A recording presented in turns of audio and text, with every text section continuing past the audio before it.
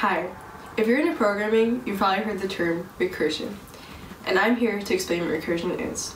Recursion is used to solve complex problems. Everyone has heard the term divide and conquer.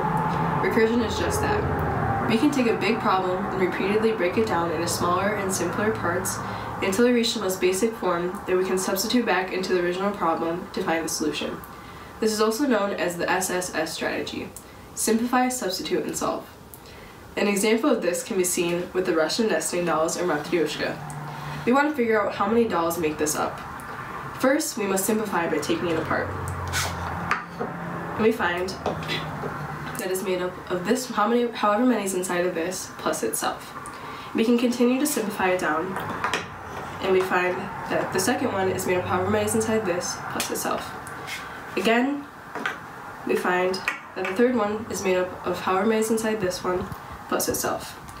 Until we get to the last one, which can't be simplified any longer. It can't be broken down. So we find that this one is worth one doll. We can start simplifying it back into the um, problem. We find that this, this one, the fourth one is worth one plus itself, which makes it worth two. And again, we, we substitute back in the problem, we find that two plus itself makes the third one equal to three. We plug it back in again, and we find that the second one is worth 3 plus itself, which makes it equal to 4. And lastly, we substitute it again, we find that the fourth plus 1 it makes it equal to 5. And we find that it's made up of 5 dolls. This process can also be expressed in a piecewise defined function, which will be on the screen. Although this is a different example, we are still able to solve it by using the SSS method from recursion.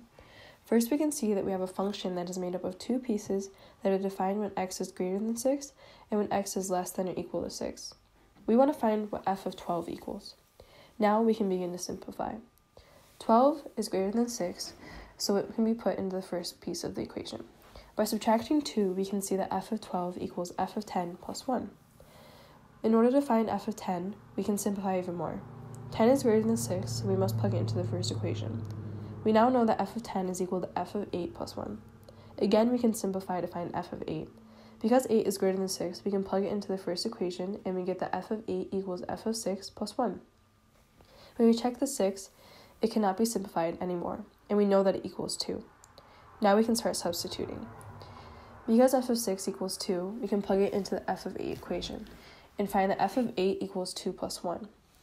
Now that we know that f of 8 equals 3, we can put it into the next equation. And we can see that f of 10 equals 3 plus 1, which is 4.